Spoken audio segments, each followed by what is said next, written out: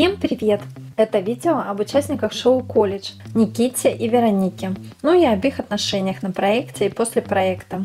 Никита после шоу очень преобразился, стал еще и симпатичный, пишет стихи, пишет глубокие посты в Инстаграм. Я даже думаю, что Никита победит. Что к Никите после шоу пришла слава, тут и говорить нечего. Надо сказать, что и до шоу Никита пользовался популярностью у девушек. Неудивительно, что и на шоу он понравился девочкам, а именно Веронике. Но взаимностью Никита Веронике так и не ответил.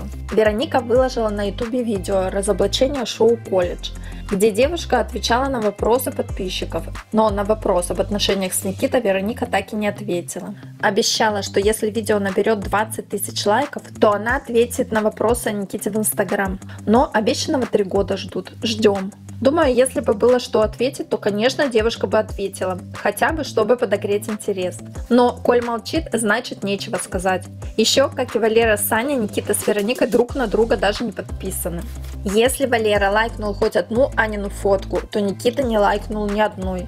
Вероника симпатичная, привыкла, что на нее обращают внимание мальчики, поэтому очень обижена на Никиту, что он к ней равнодушен. Что изменилось в жизни Вероники после шоу? Думаю, мало чего. По признанию самой Вероники, она приходила на шоу не меняться. А потому, насколько она активна во всех соцсетях, цель понятна. Вам жаль, что пара Вероника и Никита так и не сложилась? Что вы думаете об этих участниках? А на этом все. Подписывайтесь на канал. До скорого.